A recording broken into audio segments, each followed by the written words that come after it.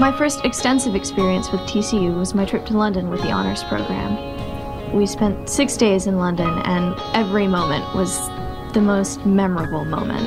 I will never forget my summer in Melbourne, Australia. I was there for six weeks with IES. I took a political science class and did an internship.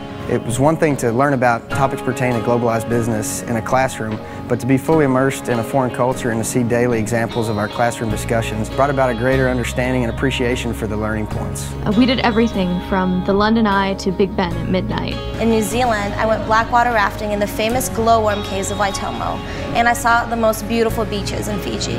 I think my favorite part was going to see a Shakespearean play performed at the Globe Theatre. For me, this was my first trip to Europe, and it really brought about an interest in international cultures that I had never before known about. In my class, I learned a lot about the politics and history of Australia. The lectures were enhanced by the company visits as well as the casual interactions with the people on the streets and in stores and restaurants. Going abroad was the best thing that I've done. I have zero regrets. I made some really great friends, and my old friendships were made stronger because of it. The trip was a great opportunity to develop closer relationships with the professors and with other students. Meeting new people and forming wonderful friendships with not only the students but the staff that traveled with us. It doesn't seem like six weeks was that long, but it was long enough for me to see the world in a whole different way. I learned a lot about myself and about the world. My wife and I have already began to plan our next trip to Europe to see other countries and experience other cultures.